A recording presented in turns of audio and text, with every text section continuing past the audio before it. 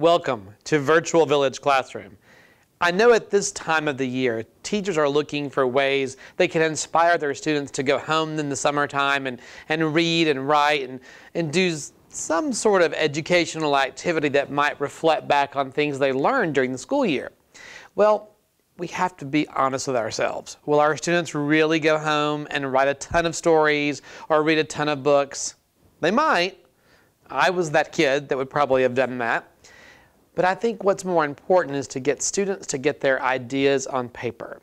So we don't want to tell this kid to spend a lot of money on this. So send them off to Walmart or some other department store and pick up a simple three-ring binder, any color they like, very cheaply, and fill it full of notebook paper. Or if they don't like the lines, you can just take regular white copy paper and put holes in it and put it there because they can draw pictures and they can write ideas. And the idea for this is to help the students think and to brainstorm. You know, I would tell my students at the end of the school year, try to go through and think of one new idea every day, even if you only write down one sentence. Maybe you write down a short paragraph explaining what your idea is about for a, a narrative story. It might be a poem, it might be a song, it might be a nonfiction thing you want to write about because you love science or you love social studies.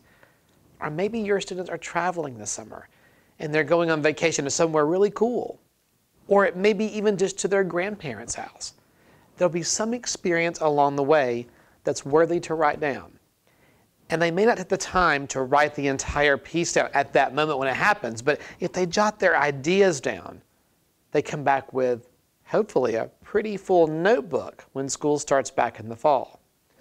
An idea book is a great way just to keep up with these wonderful creative ideas and experiences that students can draw upon when they write. I keep one myself because there are many things that happen to us every single day that could end up in stories. Encourage your students to read and to write this summer. An idea book is a great way to start.